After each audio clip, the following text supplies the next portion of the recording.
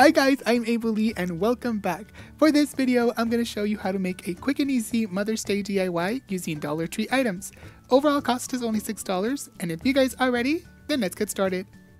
We're going to need a bundle of roses, a glass vase, some twine, floral foam, foil wrapping paper, floral moss, and a glue gun. Okay, so the first thing to do is to take your bundle of roses, choose your favorite one. You're to take your tin snips or scissors and cut it out. And I have this one. This is the one that I liked. I went ahead and I left the leaves on. You can remove it if you like. It's up to you. Now I'm to take my floral foam and I'm to insert the flower right in the center. Next we're to take our vase and I'm to flip it over and I just want to make sure the rose is centered in here. So let's try this out. Okay, I think it's in the perfect spot.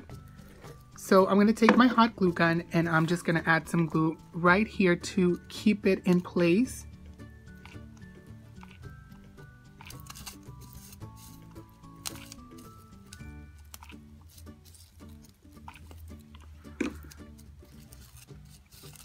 Gonna let that dry. So as you can see, I'm just gonna add some glue and then add some floral moss and you really don't need that much. And we just keep adding more.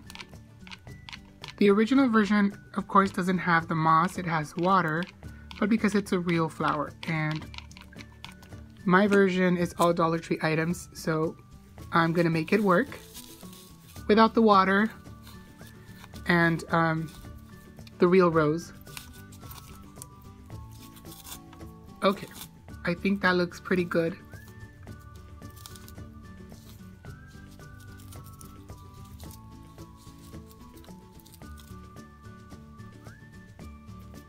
Now let's go ahead and, and flip over the vase. We're going to insert the rose.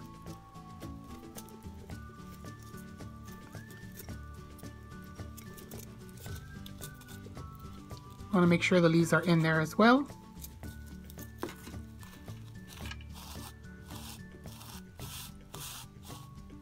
Okay, I like it.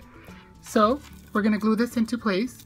As you can see, there are some grooves here and that's where we're gonna add some glue. So let's take our glue gun. You can add some E6000, actually that might be better. Or you can do a combination of the glue, hot glue and E6000.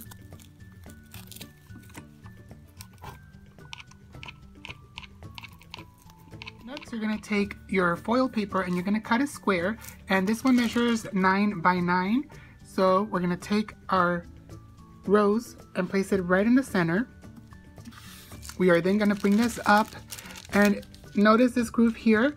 That's where you're to tie everything together. So you're to take your yarn or ribbon and tie it together, add a little bow, and we are done. What a great gift idea, don't you think? Endless possibilities. You can add a sentiment, you can even add some bling. I hope you liked this video. Don't forget to comment, like, share, and subscribe. Follow me on Instagram at Abellee25, double L, double E, and don't forget that you and I have an appointment in my next video. Bye bye.